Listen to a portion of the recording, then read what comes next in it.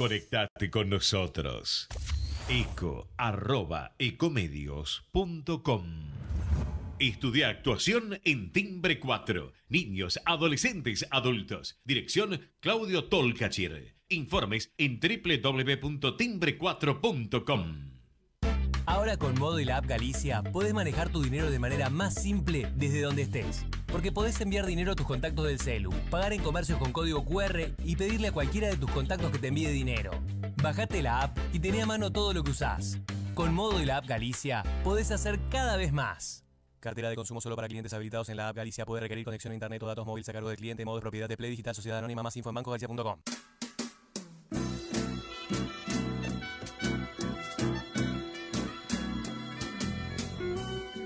Entrevistas con los protagonistas de la política, la cultura, el espectáculo, la música y el deporte. Un diálogo abierto para pensar desde una óptica diferente. Voces y Memoria, los martes de 20 a 21 con la conducción de Hernán Dobri.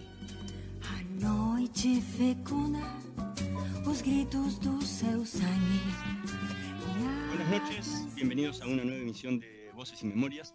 Hoy nos acompaña un director de orquestas y coro, multiinstrumentista y humorista argentino. A los 17 años se fue de su Rosario natal a La Plata a estudiar dirección de orquesta a la universidad de esa ciudad. En paralelo tocó la viola da gamba en el conjunto Pro Música de Rosario. En 1969 fundó y dirigió el coro 9 de cámara. Cuatro años después se sumó a Lelutier. En 1981 fundó el Estudio Coral de Buenos Aires, que dirige hasta la actualidad. Fue director del Coro Polifónico Nacional de Argentina entre 2000 y 2003. Fue consejero artístico del Teatro Colón entre 2000 y 2004.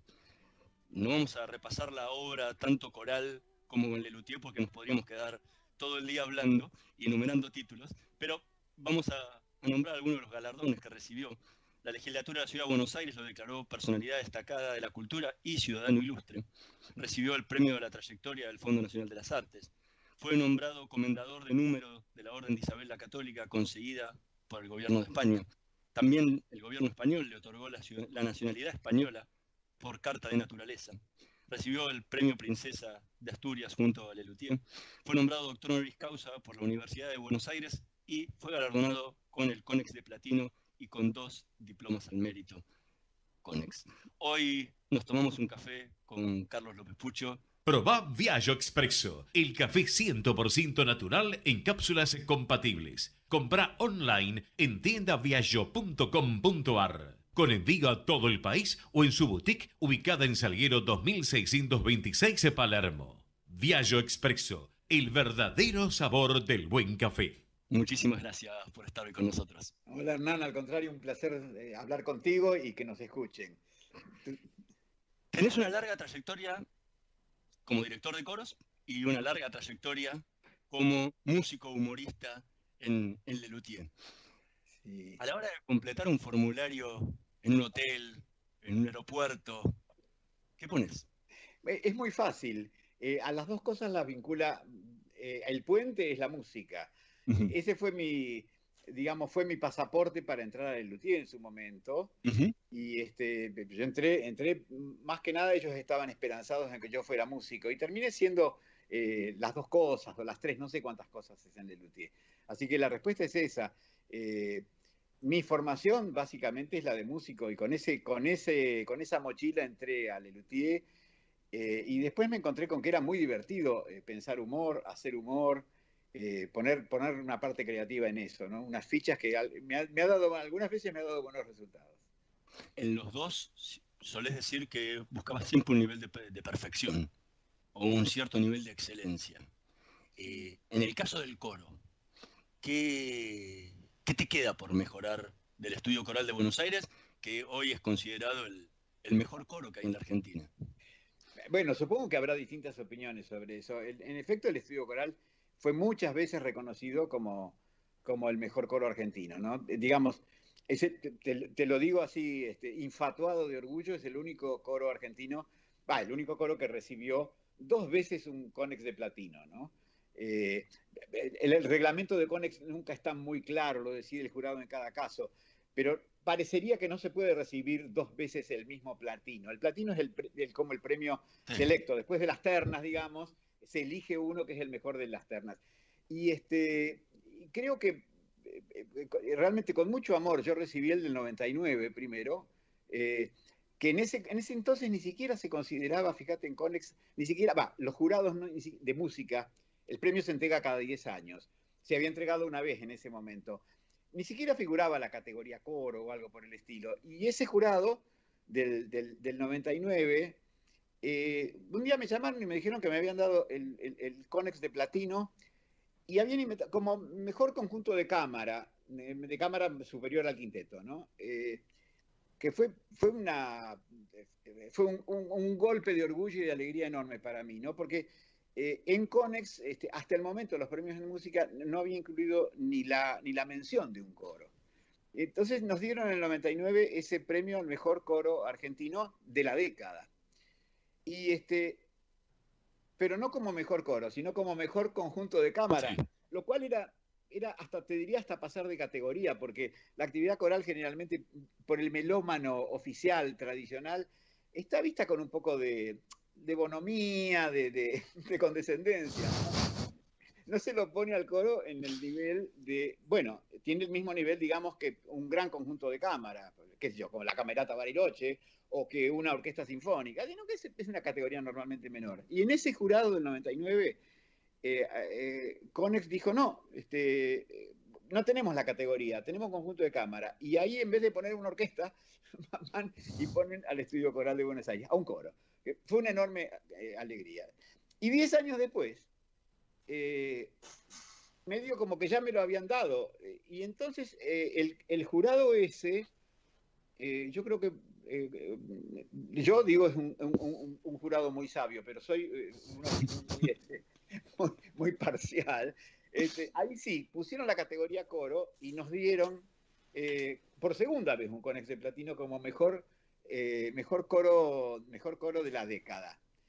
Este, y ese, ese año además, lo tengo que decir, tuvieron la, delicadeza de a mí ponerme como mejor director de coro de la década. Así que tengo, tengo el, cartón lleno en ese sentido. Soy muy, muy contento con eso. Ahora, volviendo a la pregunta, ¿qué te queda por mejorar? ¿Qué te queda por perfeccionar todavía de ese coro que ya lleva desde el 81 casi 40 años y en el, que le has pulido y, le has conseguido lo que, vos, lo que vos buscabas? ¿Qué es lo que te queda por perfeccionarle todavía? Mira, es muy difícil hablar en estos tiempos de, un futuro posible. Es muy difícil eh, eh, concebirlo. Eh, yo no sé cuándo me va a agarrar la posibilidad de retomar las riendas del estudio coral. realmente ni siquiera sé si va a ser posible. Qué va a ser de mi vida, de la Argentina, de los ambientes culturales para ese entonces, ¿no? Casi te diría que los últimos años del estudio coral fueron el, el, desideratum, fueron, los momentos más felices míos con el estudio coral. Eh, posiblemente porque yo había llegado a una edad en la cual todos me respetaban este, y en, la cual podíamos ser realmente amigos, pero con, con, con, una diferencia de roles más, más clara, ¿no? Y, este, y el, grupo, el grupo hasta, hasta fin del 19 trabajamos naturalmente, este, era óptimo y había una relación interna maravillosa. Eh, y un poco la sensación que me ha quedado ahora, ya hace un año y pico que no nos vemos, nos vemos por Zoom de vez en cuando, hacemos algún encuentro y demás, eh, nostalgioso, y decimos, alguna vez volveremos a, a, reunirnos, volveremos a hacer algo. Y me, da, ya a esta altura me, suena a, grupo ideal, casi virtual, te diría, casi inexistente. Eh, pienso que realmente para concebir algo mejor de lo que para en mi interior es el, estudio coral del que me despedí a fin desde el 19, eh, yo tendría que ser mejor.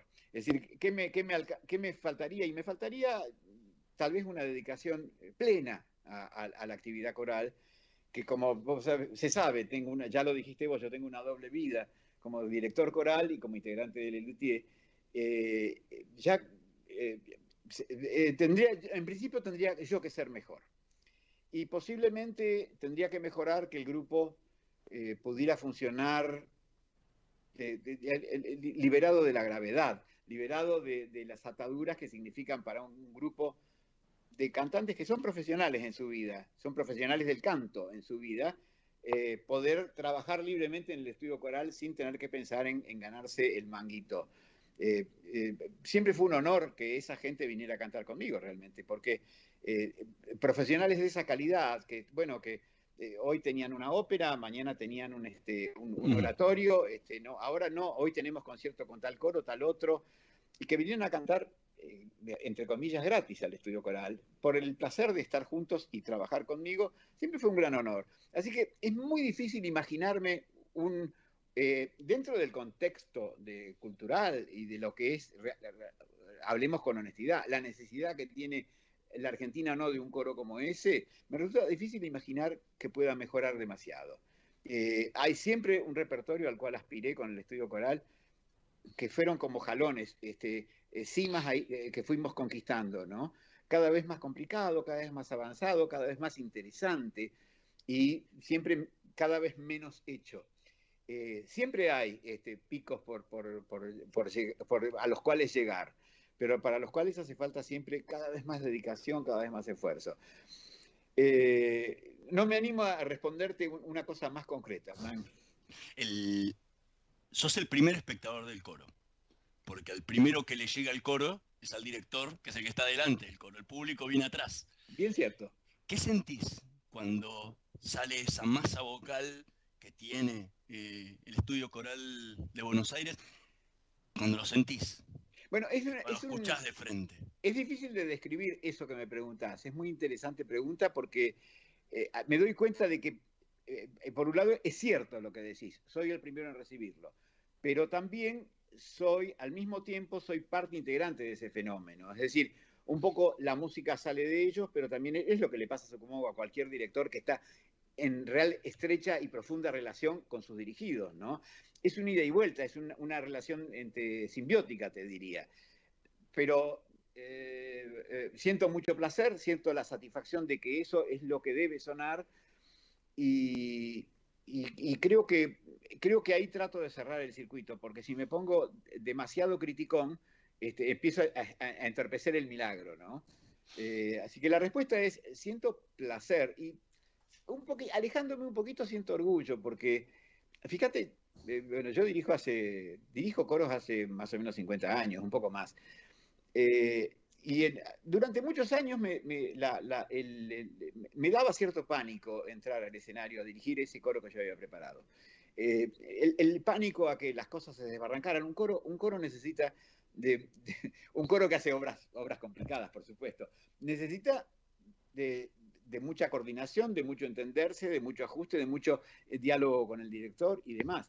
Y te puede sobrevenir un, desastre. Eh, y yo tenía mucho pánico de ese posible desastre en mis primeros, no sé, 20 años de director. Y a partir de un cierto momento, eh, en el cual yo me empecé a sentir más tranquilo, pero además empecé a sentir eh, que me entendía mejor y que nos entendíamos mejor, el pánico se me fue transformando en placer. Es decir, ahora cuando, cuando voy a empezar un concierto, estoy ansioso por salir a disfrutar de ese placer, de, ir a, mostrar ese trabajo conjunto que hemos hecho para que escuchen ustedes y señores del público, digamos. Entonces, la respuesta ahora es esa mezcla de admiración, de trabajo de, y placer. Estamos conversando con Carlos López Pucho. Vamos a escuchar justamente al Estudio Coral de Buenos Aires interpretando Quisiera de Roberto Valera. Quisiera,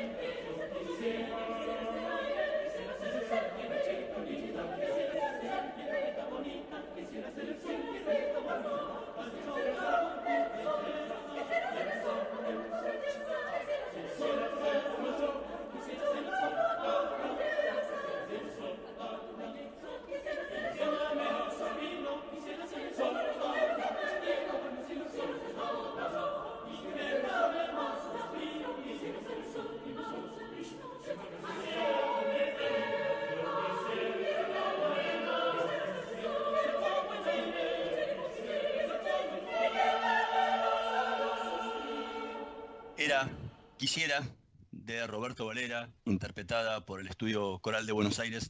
¿Por qué elegiste justamente este, este tema de tantos y tantos que han grabado con el Estudio Coral en, todos estos años? Eh, bueno, digamos que el, Estudio Coral hace, eh, eh, uno de los objetivos básicos del Estudio Coral es hacer un repertorio, te diría, de vanguardia un repertorio de lenguajes eh, no fácilmente entendibles, no fácilmente accesibles para el público medio. Eh, y siempre estas obras en los conciertos yo he tratado de que eh, de abordarlas con una explicación previa, con, tratando de, descontraer el, rigor, la, situación rigurosa del concierto y, los, este, y los protocolos y demás, y tratando de que la gente pueda abordar desde, desde donde se pueda eh, lenguajes misteriosos, lenguajes complicados, lenguajes muy... Entonces, eh, eh, una manera siempre para afrontar estas, estas obras tremendas y estos lenguajes tan a veces tan distantes de la gente, de la gente que va, que cae a un concierto por casualidad, fue intercalarlo con cosas accesibles no cosas sencillas, no cosas baratas, nada de eso, con cosas, con obras dentro de la, de, la tradición, digamos, este, de, la, tradición clásica, eh, pero eh, que sean accesibles. Entonces, eh, una, e, esta, esta de Roberto Valera a mí me parece, me parece una obra maravillosa. ¿Sabes qué? Esta obra en realidad es una, es una pasacalia. Esto lo dice el compositor. Es decir, es una, es una estructura, la pasacalia es una estructura barroca, donde había un tema que se iba repitiendo. Y las otras voces iban acompañando, pero cada vez de una manera más complicada, ¿no? En, este caso, eh, es una pasacalia porque realmente el tema, el tema pasa de voz en voz dentro del coro. Está escrito cuatro voces, eh, pero está hecho sobre un tema de Guaguancó. Entonces, el, autor, Valera, que es un tipo de mi edad, quien yo no, tuve la suerte de conocer en Cuba, este, eh, eh, dice que es una, es una guaguancaglia la obra. Está hecha sobre una décima de guaguancó, divina, ¿no? Pero hecha con un arte polifónico eh, altísimo, elevado. Este, que a veces, que incluso por ser una mezcla así de, de, género tan, tan, este, tan ligada, tan pegadita, se hace difícil de cantar. Eh, digamos, para un coro del tamaño del estudio coral, la arritmia es, muy crítica. Este, entonces, me pareció una linda cosa, una obra que, volviendo al principio, que puede escuchar y disfrutar eh, cualquiera sea el nivel de, interés o de, musicomanía que tenga el público que nos esté escuchando. Eh, Hace, unos minutos comentabas lo que, lo que sentías antes de salir hoy a, escena con, el coro. ¿Qué diferencia sentís entre cuando te toca salir a escena con el y cuando estás ahí parado en el escenario a punto de dirigir el coro? Qué buena. Eh, eh, mira, creo que con, luthier como la responsabilidad es más, este, es más repartida. Este, estoy, eh, eh, bueno, nunca tuve angustia escénica con Lelutier, salvo en los estrenos, en las, pruebas de cosas nuevas, ¿no? Que eso siempre es un salto al vacío, siempre es un tirarse a la pileta sin saber eh, qué reacción vas a tener del público, porque realmente con el humor y con el humor que tratamos de hacer en el siempre hay una cuota de incertidumbre muy grande, porque uno trata de buscar caminos que no, no recorridos, este, de, de, proponer, de hacer propuestas que, que dependés de que la gente las entienda para poder seguir cargando sobre ellas y demás.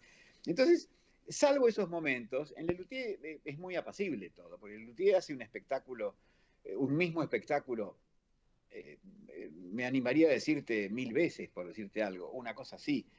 y entonces, no es que es, siempre el mismo espectáculo. Cada día puede haber una pequeña innovación, una improvisación chiquitita, un, chiste para probar, un, pequeño desvío del... Eh, pero el, camino está muy fijado.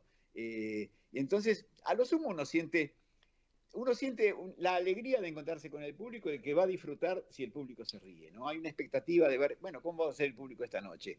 Pero no mucho más que eso. Por lo demás, este, este es todo disfrute. ¿no?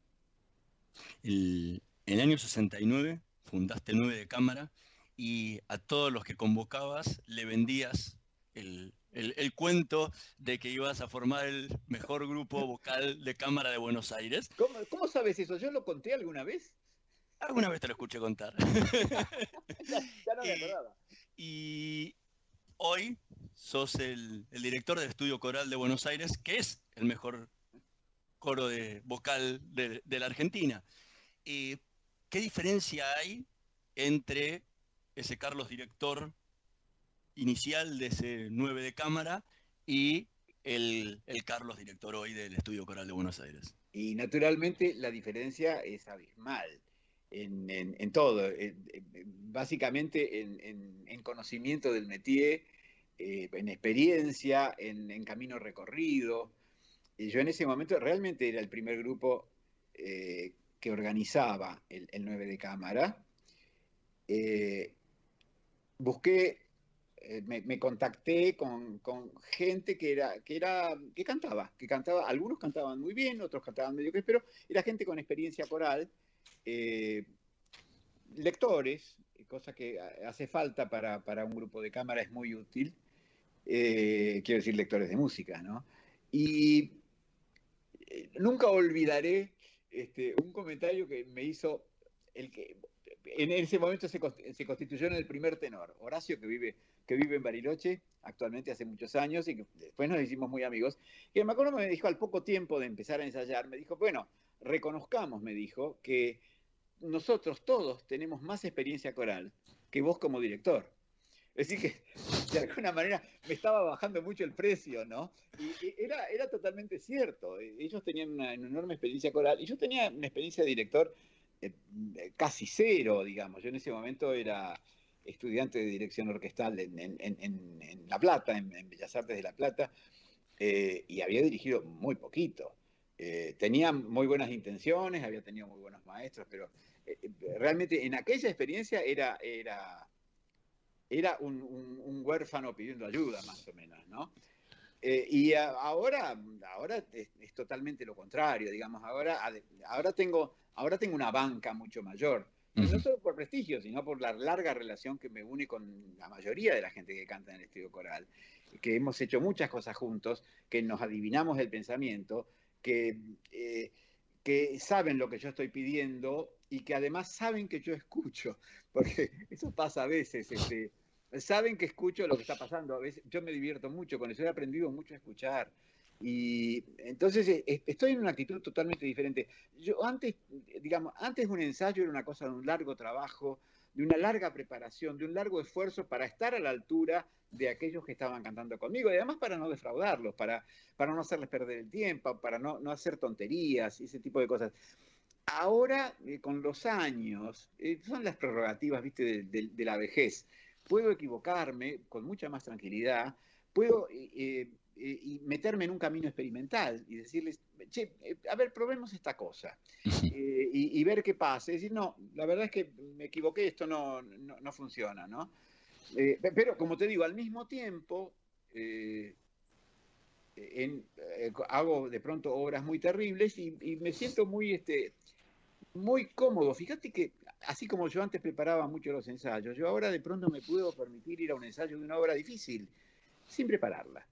Eh, y divertirme yo mismo con el trabajo de enfrentarme a esa partitura endemoniada sin haberla preparado demasiado. Yo sé que, claro, el precio no va a ser, eh, si me equivoco o me meto una pata, no es el precio que pagaba a los 20, 22 años cuando empecé a dirigir, ¿no? El precio de, en prestigio, en autoridad, en esas cosas, ¿no? Eh, pero bueno, claro, me siento, me siento mucho más seguro.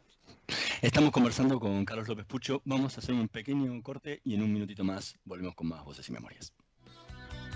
Vamos la radio.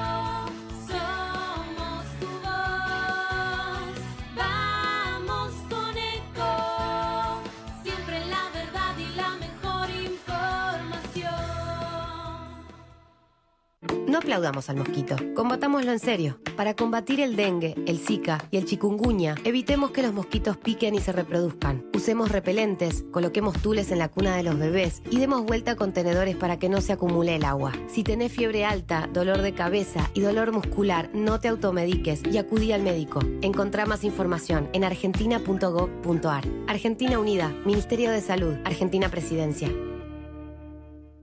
Podés vernos en vivo en ecomedios.com. Ecomedios.com. Contenidos audiovisuales. Conectate con nosotros. Contestador 5 254 2353. Voces y memoria. Una hora con los protagonistas de la política, la cultura, el espectáculo la música y el deporte para pensar desde una óptica diferente.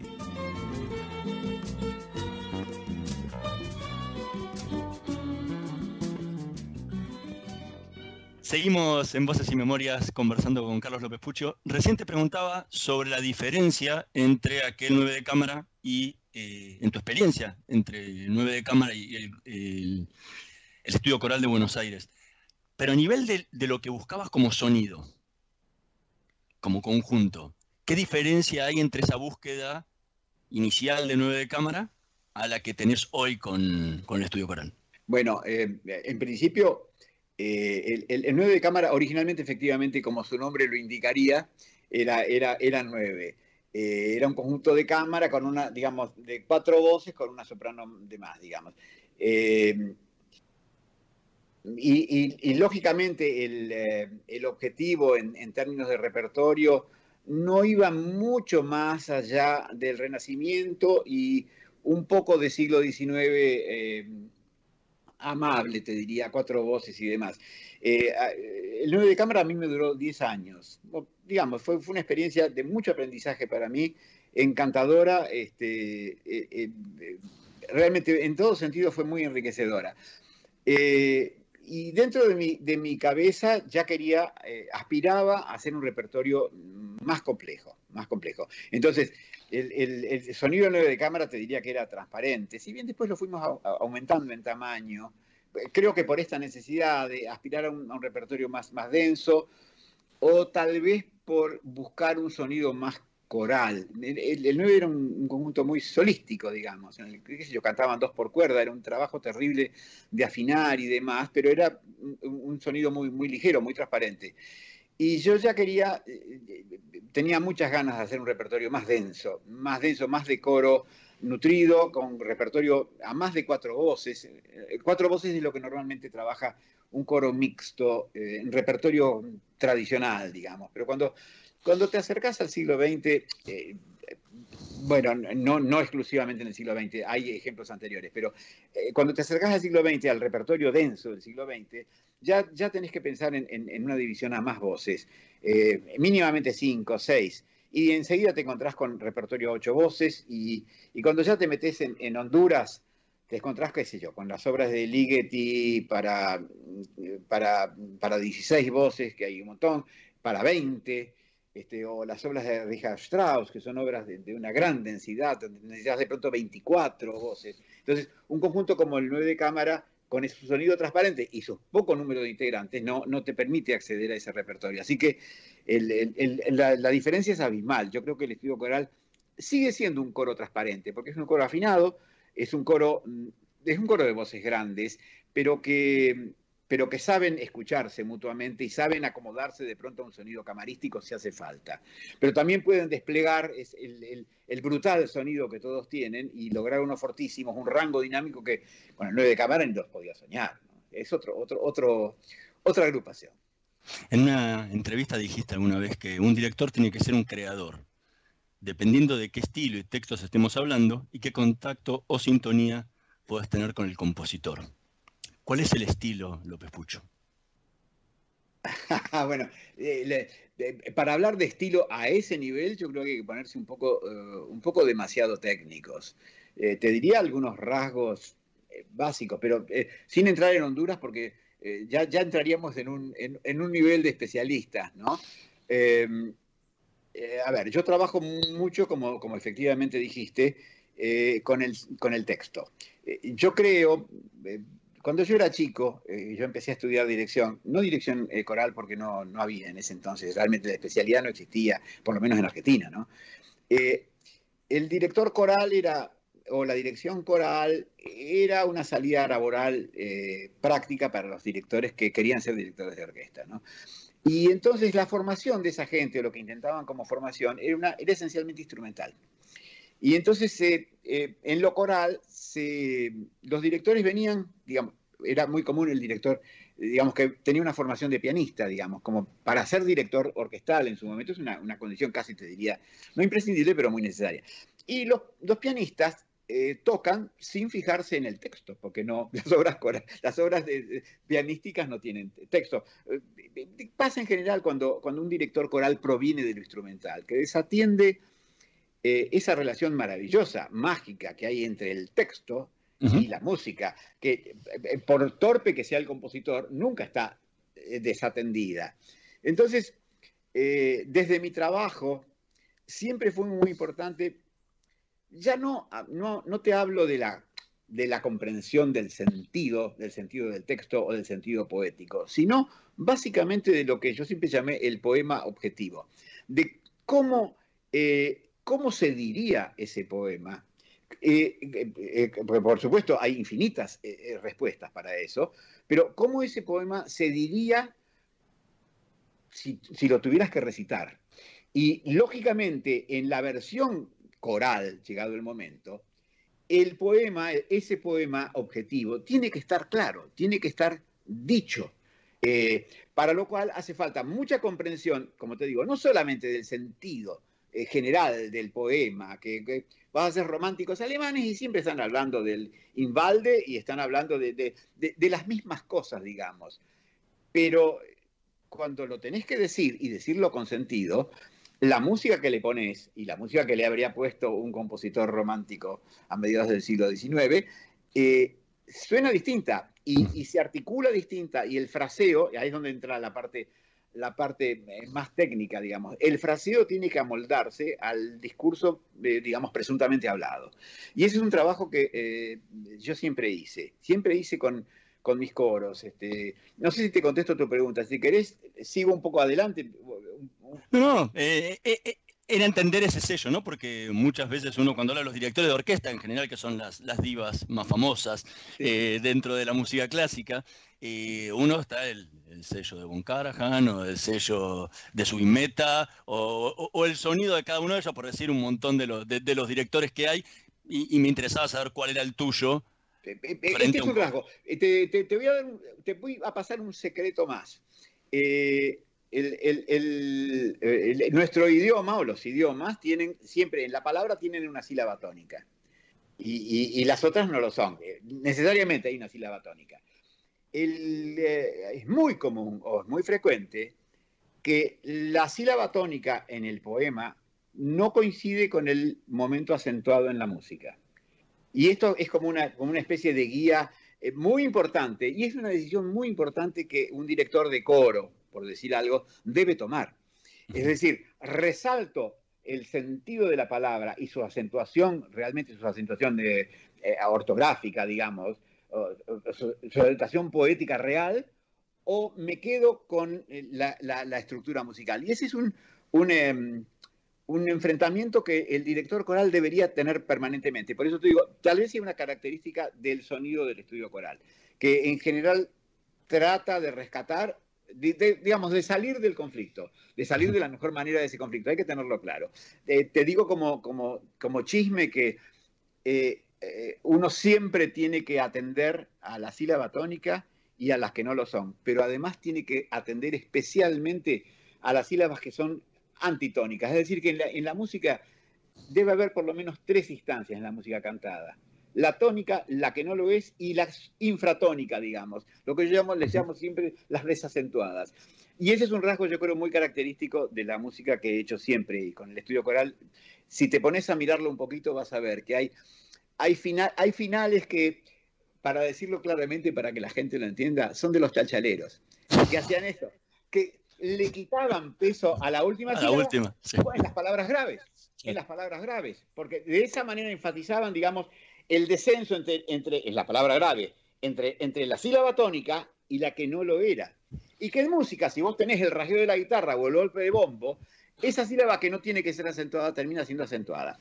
Ahora, si querés volver a escuchar toda la discografía del estudio coral con esa, con esa cara, vas a ver que, eso está siempre. Estamos conversando con Carlos López Pucho. Vamos a escuchar otra obra que, lo marca en su carrera, desde su otro grupo, menos importante que el Estudio Coral de Buenos Aires, llamado Lelutier, eh, en la que justamente canta, que se llama Los jóvenes de hoy en día.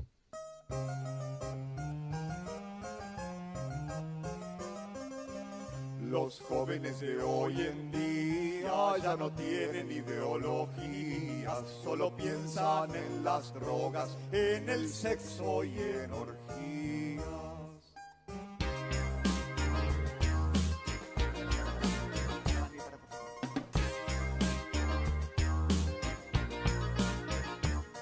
Los jóvenes de hoy en día ya no distinguen el mal del bien ya no hay ley, ya no hay derecho y solo sexo es lo que ven.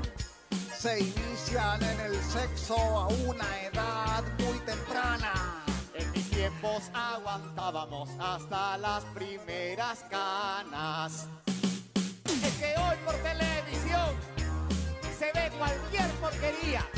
En mis tiempos, en cambio, televisión no había. Los jóvenes de hoy en día ya no distinguen el mal del bien. Ya no hay ley, ya no hay derecho, y solo sexo es lo que ven. ¡Wow!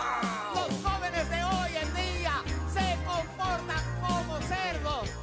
Piensan continuamente en el sexo. Yo por más que pienso, no me... Era los jóvenes de hoy en día en, obviamente, la versión de los Lelutier que ha sacado carcajadas a tantos eh, en, en ese dúo tan particular de raperos. ¿Por qué, ¿Por qué elegiste este tema? Bueno, mira, lo elegí. especial de Lelutier, ¿no? Por, supuesto, porque fue un gran éxito. Eh, eh, fue una obra que escribimos, que lo hemos hecho muchas veces, Jorge Marona y yo, eh, juntos. Y, este, y que nos hemos dedicado obritas a nosotros mismos, porque la verdad es que Lelutier siempre las estrellas, con justo, con justo valor, fueron eh, Marcos y Daniel. Eh, eh, siempre fueron los más actores, los más, este, los más valerosos, los más de salir adelante, los más osados, ¿no?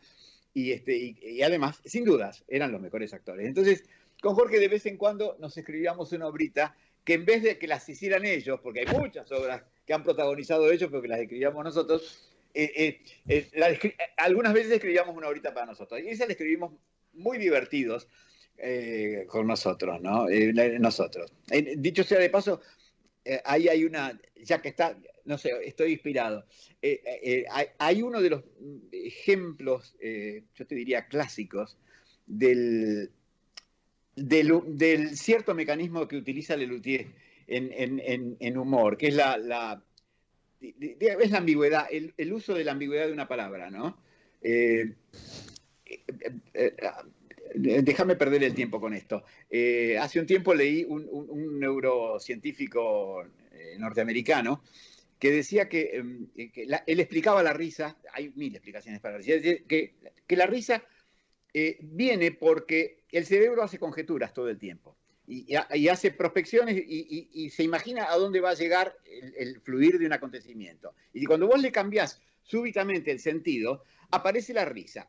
Era una explicación que el tipo daba para el origen de la risa, que no creo que siempre coincida con la realidad, pero este es un buen ejemplo. Eh, acá acá el, estribillo, ¿viste? Este, los jóvenes de hoy en día ya no distinguen el mal del bien, ya no hay ley, ya no hay derecho y solo sexo es lo que ven.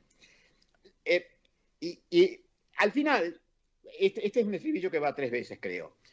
Al final, la sorpresa es que cambiamos, cambiamos el último verso. Los jóvenes de hoy día ya no distinguen el mal del bien. Ya no hay ley, ya no hay derecho. No hay derecho a que la pasen también.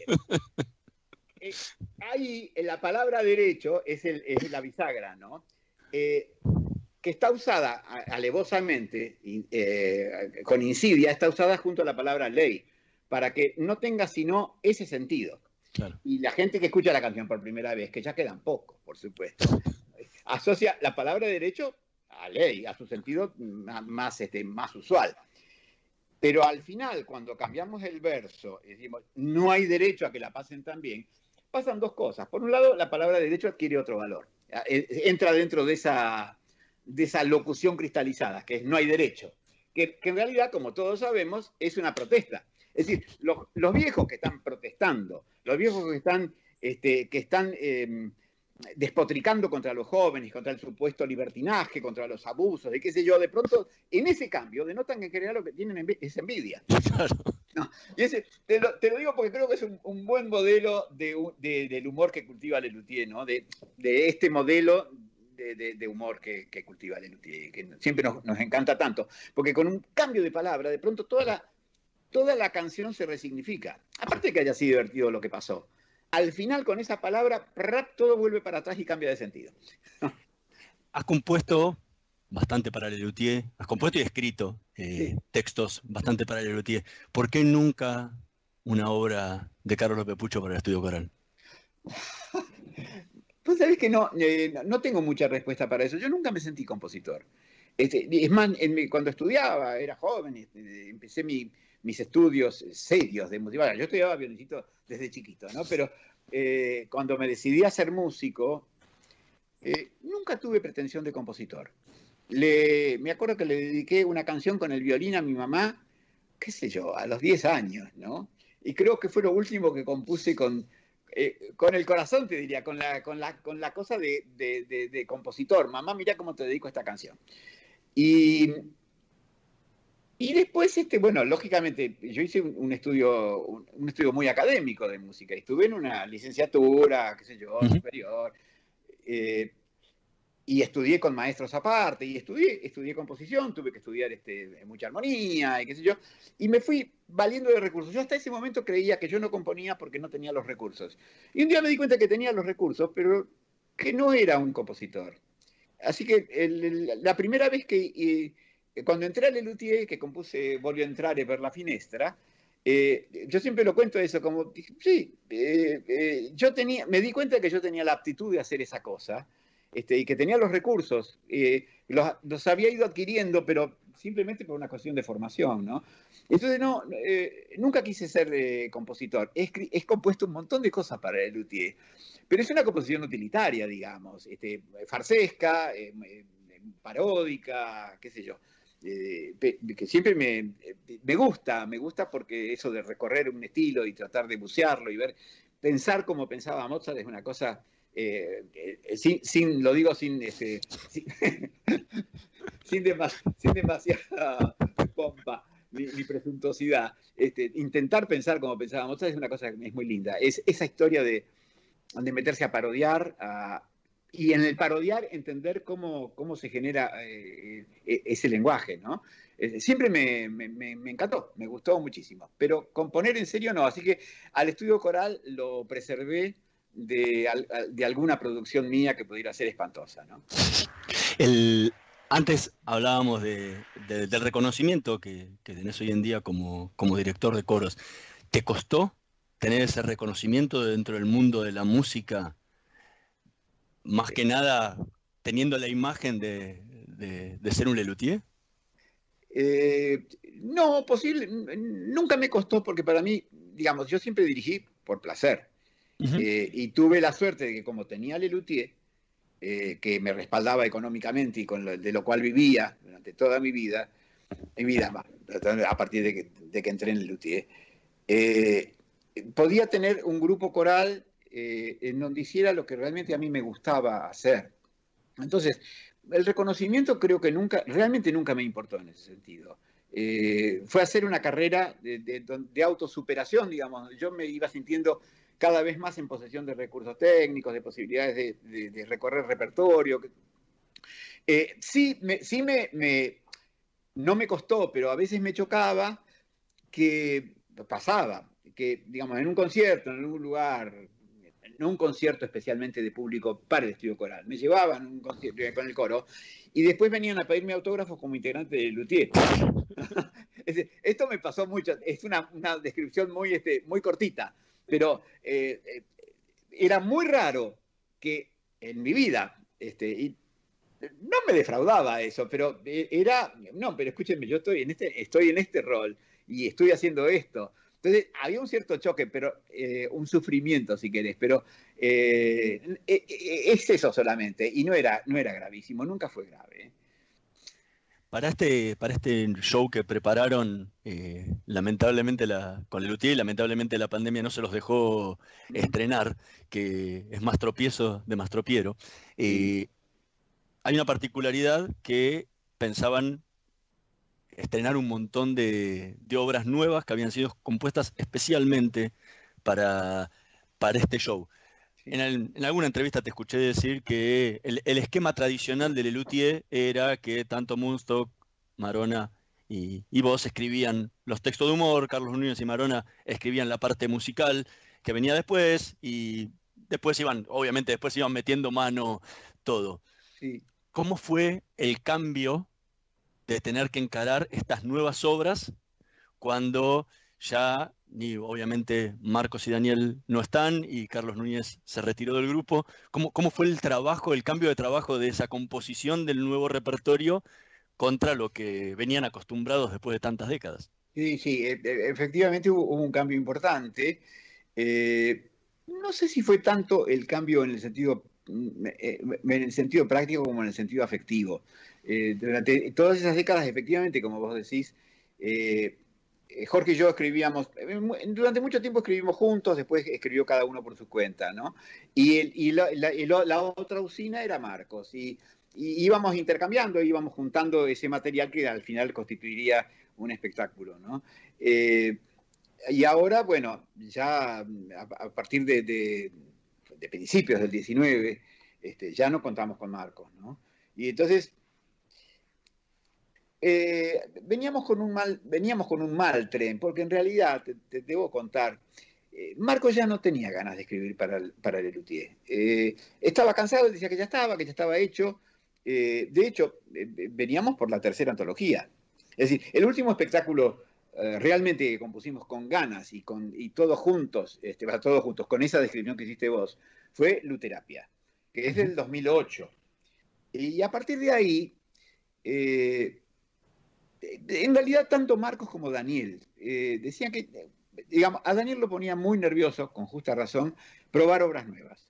Sabes que nosotros hacemos las pruebas, cada, cada cachito, cada cosa se mete en el show que está corriendo y se lo, se lo disimula, digamos, para ver la reacción realmente espontánea del público.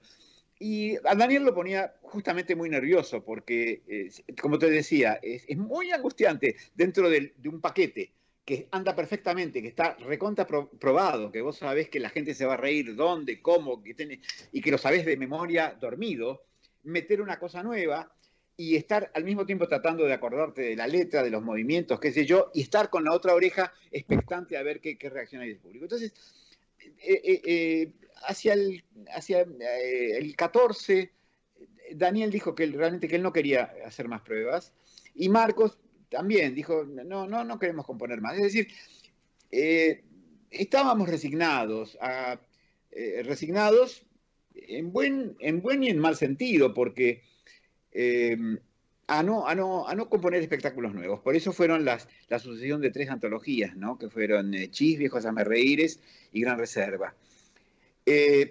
No obstante lo cual, yo tenía muy buena relación con, eh, con Marcos. Este, de, hecho, lo, llevaba en auto cuando íbamos a alguna girita, lo, llevaba en auto y, charlábamos mucho. Yo le insistí muchas veces en, en, volver a escribir un espectáculo y estaba obstinado en que no quería.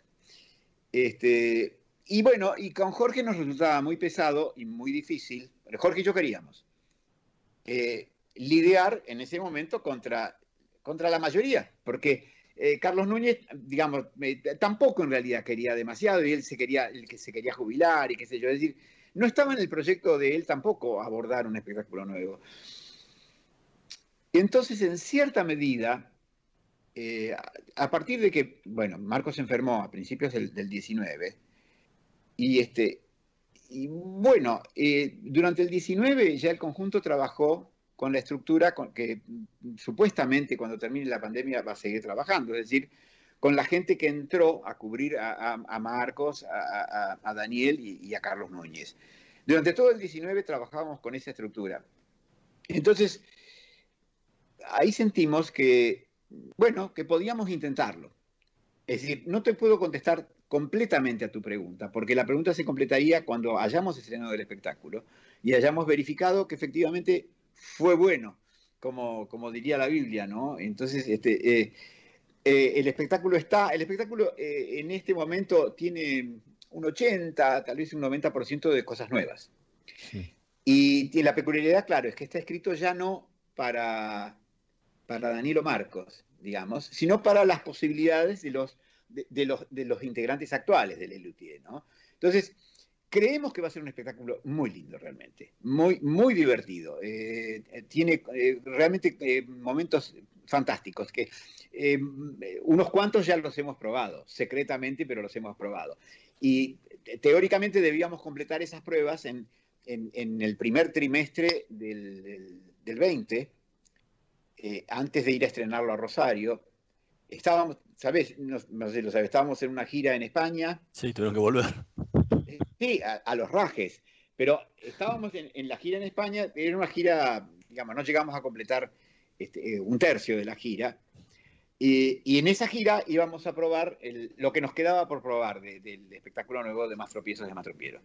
Este, de hecho, ensayábamos todos los días y qué sé yo. Con, y bueno, y se nos interrumpió precipitadamente cuando acá estaban a punto de cerrar Ezeiza y cuando España estaba a punto de estar cerrada ya también, ¿no? Así que volvimos este, como los refugiados en las películas de, la Segunda Guerra, cruzando el, Canal de la Mancha como se podía subidos a los, aviones, eh, y ahí se detuvo. Es decir, que ahora nos queda la, expectativa de, ese, espectáculo que, como te digo, más tropiezos, que yo creo que va a ser muy lindo. Pero hasta no probarlo, eh, no lo puedo saber. Carlos López Fucho, muchísimas gracias por habernos acompañado en esta noche de Voces y Memorias. Fue realmente un honor y un placer haber conversado contigo. Eh, Hernán, lo mismo para mí. Realmente la pasé muy bien. Te agradezco mucho la entrevista. Y las algunas preguntas realmente muy inteligentes. Muchas gracias. Nosotros nos vamos a reencontrar la próxima semana en la operación técnica Carlos Heinze y Gerardo Subirana, en la edición Javier Martínez. Nos vemos la próxima semana. Estudia actuación en Timbre 4. Niños, adolescentes, adultos. Dirección Claudio Tolcachir. Informes en www.timbre4.com. Ahora con Modo y la app Galicia podés manejar tu dinero de manera más simple desde donde estés. Porque podés enviar dinero a tus contactos del celu, pagar en comercios con código QR y pedirle a cualquiera de tus contactos que te envíe dinero. Bajate la app y tené a mano todo lo que usás. Con Modo y la app Galicia podés hacer cada vez más. Cartera de consumo solo para clientes habilitados en la app Galicia puede requerir conexión a internet o datos móviles a cargo del cliente. Modo de propiedad de Play Digital Sociedad Anónima más info en bancogalicia.com. Proba Viaggio Expresso, el café 100% natural en cápsulas compatibles. Compra online en tiendaviaggio.com.ar. Con envío a todo el país o en su boutique ubicada en Salguero 2626 Palermo. Viaggio Expresso, el verdadero sabor del buen café.